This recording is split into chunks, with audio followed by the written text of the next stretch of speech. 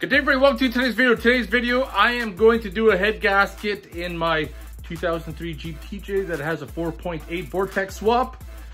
And before you tackle any LS Vortec head gasket job, you need to make sure you have the right parts.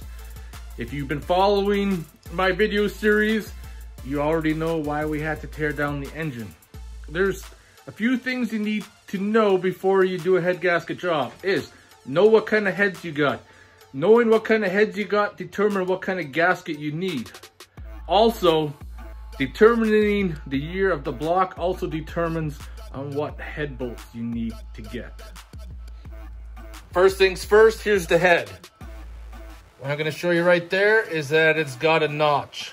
That notch tells you it's an early LS Vortec head, which only certain head gaskets work with it. One of them is being a composite, our MAHLE makes one as well. That's the part number 5441, and it's designed for the notched heads, as you can see.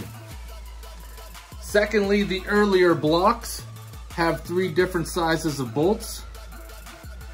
That being the shorter bolts go in that hole and that far one. That makes a big difference when you go to buy head studs. And that's the bolt set right there. GM 6.0, 5.7, 4, 8. Comes with eight head bolts, two short head bolts, and five small ones. It's also good to print off a sheet. I got this one off of Summit Racing. Gives you the torque sequence. And of course, like I said, mine's got the shorter bolts, so my last pass is 50 degrees where the rest are 90. And of course, if you have a Gen 4 block, well then you gotta go 90 degrees and 70 degrees, but the one I'm dealing with is the Gen 3, 90 and 50. The block and head has been prepped. So let's get the gasket on. The first thing you need to do is make sure your lineup pins for the head are already inserted. Before you install the head gasket, be sure to check over your list and make sure everything is prepped before you install it. Now, if you look at the head gasket, it says front on the gasket. You got to make sure that goes the front because the water jacket's in the back. That's very important. If you don't have the head gasket installed properly, you're going to be doing it all over again. Now this is where some people are probably going to disagree with what I'm doing. I'm just using an electronic ratchet that doesn't have too much power just to spin the bolts in for the first set. I'm not torquing them down yet. I'm just getting the bolts set down and then I'm going to properly torque them. You could use speed wrench, you could use a ratchet, but I'm just speeding up the process by using my Milwaukee electric ratchet. The first pass sent your torque wrench to 22 foot-pounds and do the torque in the sequence that was shown on the paper earlier. The next two passes require the use of a torque angle finder, and this is a little Snap-on I'm going to show you for demonstration purposes.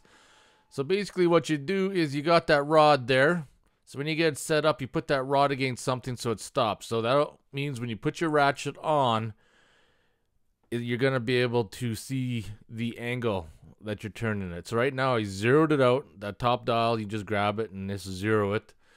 So it makes it easy to see. Get my big mitts in the way. So now with my big hand out of the way, you can clearly see how that works. So our first pass is going to be 90 degrees.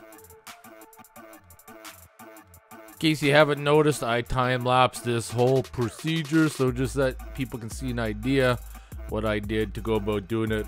There's a million ways to do a job. You got to find a way that works easiest for you and get the job done right so without any issues. Most of it went smoothly. Some of them had to try to be creative to get that dial locked down, but in the end it worked.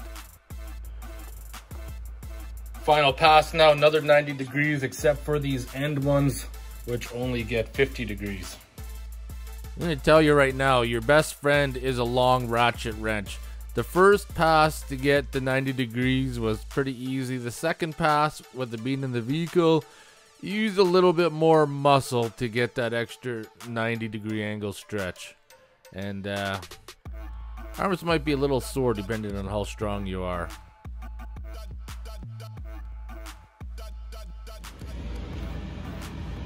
All the main studs are torqued down. Just got these small bolts. We're gonna stick them in and then torque them 11, 12, 13, 14, 15, and those are at 22 foot-pounds as well.